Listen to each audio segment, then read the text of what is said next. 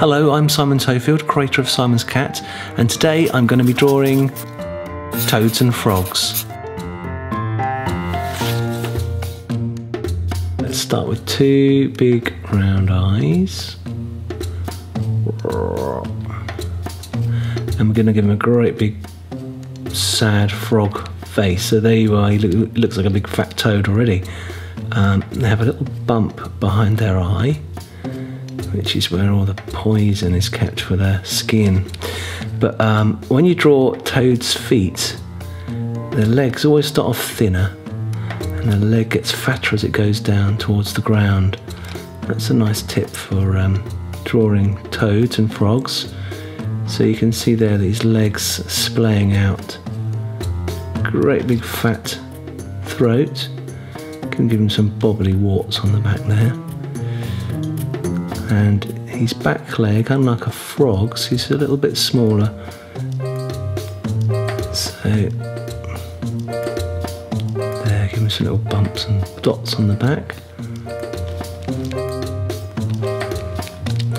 So there we have a big fat toad. Doesn't look very happy, does he?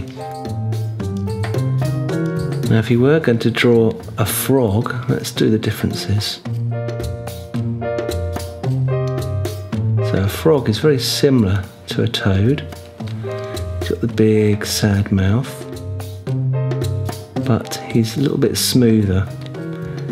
So he's got the big front mouth and again with the the legs that go inwards and the fatter at the bottom than the top.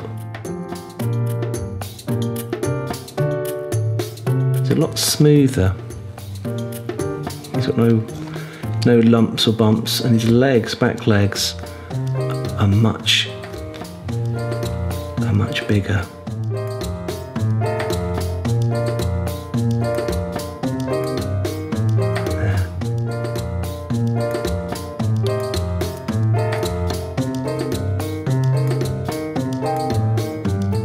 I tend to put little stripes on the on the legs